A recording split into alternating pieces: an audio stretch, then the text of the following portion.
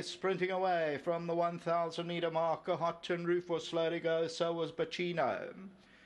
Chanel Allure, one of the first out of the gate, and Glitter and Gold's right there. Rose Moon, the yellow headgear, moves into second. Keep on cruising back fourth. In fifth place is Rose Dancer. Talia Al Ghul's the orange cap on the outside of runners. It's racing about three or four lengths off the leader. And then we drop back to Hot Tin Roof as they come into the home stretch. And a long way last, Pacino. So as they turn for home, and that leader, Chanel Allure. Back in second is Rose Moon. Towards the inside of that, keep on cruising. Talia Al Ghul's come out for a run. Rose Dancer's going to have to make through down the middle of the track. Chanel Allure keep on cruising. Talia Al Ghul and Glitter and Gold is still right there. Glitter and Gold and Talia Al Ghul as they come to the last hundred. Talia Al Ghul now and down the inside. Glitter and Gold. These are the two. They're having a good struggle. It's getting mighty close as they come down to the line. Talia Al Ghul won it. Second will go to Glitter and Gold. Then came Rose Dancer and Chanel Allure.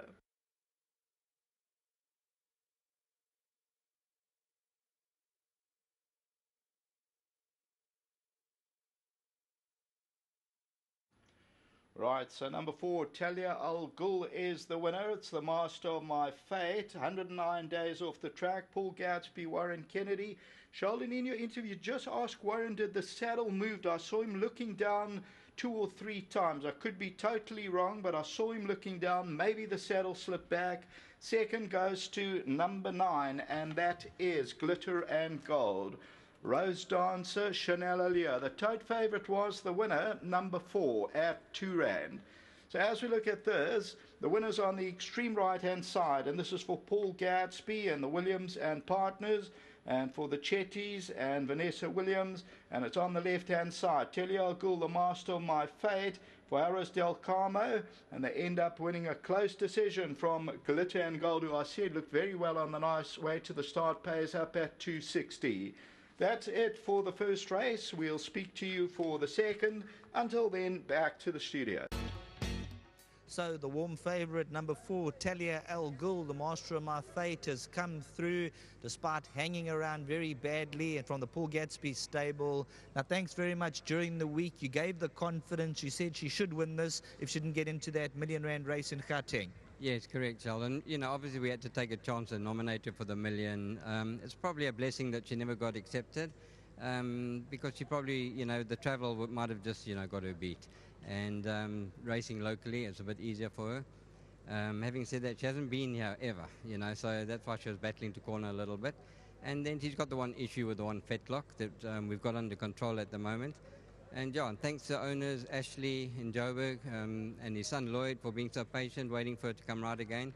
And Vanessa Williams, who's in um, Mauritius at the moment. And obviously um, Dr. Dina and his wife Villa. Thanks very much for the support. And they're lovely owners to have in the yard. And uh, also make mention of uh, Hollywoodbets, our sponsor. Thanks so much. A good group of guys to be involved with. For the guys who didn't see the show this morning, your runners coming up later. How are they doing? Yeah, they will. I, I think they'll be in the money. Um, Sarabi is well weighted. Uh, she should be there, thereabouts, if she gets a bit of luck. Sometimes she's slow away. And then Isla Morada, I think she should be in the first four and hoping for a win.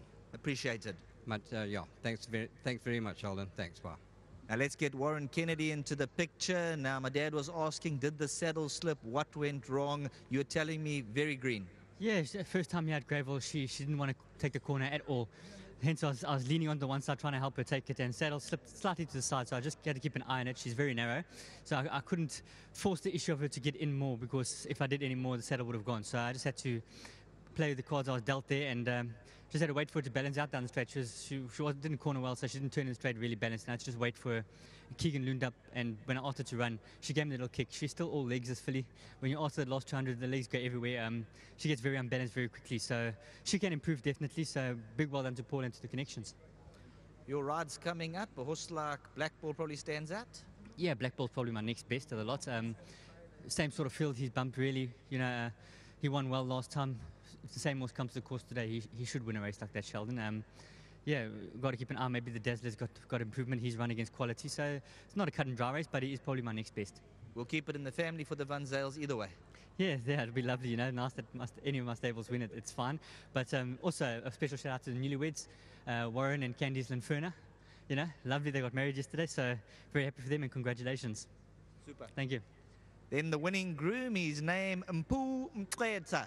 You can come through, get your thousand rand token. Well done for looking after Talia Al Ghul. And number four, Talia Al Ghul, getting the bit of exchanges, despite racing very awkwardly round the turn, wins that close decision.